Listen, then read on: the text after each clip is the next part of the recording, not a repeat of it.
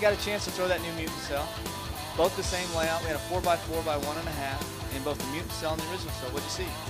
Well, to me, the Mutant Cell was like a cell with a turbocharger. Um, the, the initial shape through the front part of the lane looked real close, um, but off the spot, it was it was much more aggressive. Um, and, and, so again, it, it, had the cell characteristics, but just beefier. It was like a cell on steroids. Yeah, and, and that's what we were trying to do. Trying to give it a little bit more intermediate differential, trying to make it come off the spot a little bit harder, give it a very different shape. Absolutely, that's exactly what I saw. Excellent. Thanks, Randy.